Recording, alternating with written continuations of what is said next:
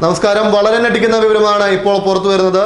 മുഖ്യമന്ത്രി പിണറായി വിജയനും സ്പീക്കർ രാമകൃഷ്ണനും വേണ്ടി വിദേശ കറൻസി കടത്തിയിട്ടുണ്ടെന്ന സ്വപ്നയുടെ മൊഴിയാണ് ഇപ്പോൾ പുറത്തു വരുന്നത്.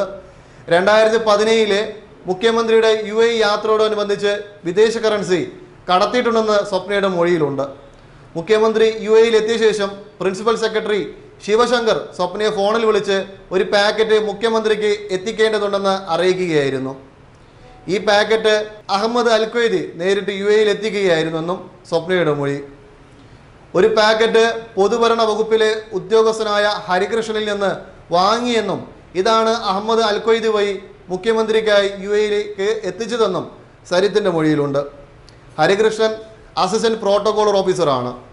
ഈ പാക്കറ്റ് സ്കാൻ ചെയ്തപ്പോൾ ഒരു ബണ്ടൽ കറൻസി കണ്ടതായും സരിത്തിന്റെ മൊഴിയിലുണ്ട്.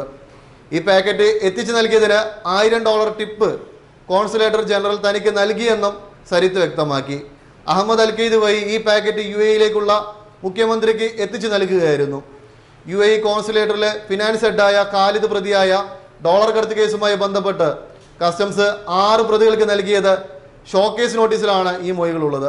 ജൂലൈ ഇരുപത്തൊമ്പതിന് കസ്റ്റംസ് അയച്ച ഷോക്കേസ് നോട്ടീസിന്റെ പകർപ്പ് മീഡിയ വൺ ചാനൽ പുറത്തുവിട്ടത്.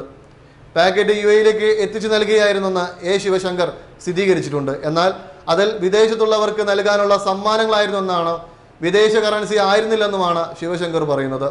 മുഖ്യമന്ത്രി പോകുന്ന സമയത്ത് ഒരു സമ്മാനം മാത്രമാണ് തയ്യാറായിരുന്നുവെന്നും മൂന്ന് സമ്മാനങ്ങൾ കൂടി അവിടെ എത്തിക്കേണ്ടതുണ്ടായിരുന്നുവെന്നും അദ്ദേഹം പറഞ്ഞു. ഈ സമ്മാനം ആര് വഴിയാണ് എത്തിച്ചതെന്ന് അറിയില്ലെന്നും അദ്ദേഹം പറഞ്ഞു. അതേസമയം ഈ ആരോപണങ്ങളെ പാടെ തള്ളുകയാണ് സി പി എം നേതാക്കൾ. മുഖ്യമന്ത്രിക്കെതിരെയുള്ള ആരോപണങ്ങൾ രാഷ്ട്രീയ വിധേയത മൂലമാണെന്ന് എ. വിജയരാഘവൻ പറഞ്ഞത്. കേന്ദ്ര ഏജൻസികൾ കേരളത്തിൽ നിർവഹിച്ച ചുമതല രാഷ്ട്രീയ പ്രവർത്തനമെന്നും എ വിജയരാഘവൻ കൂട്ടിച്ചേർത്തു. ന്യൂസ് ഡെസ്ക് റിലിംഗ് വിഷൻ.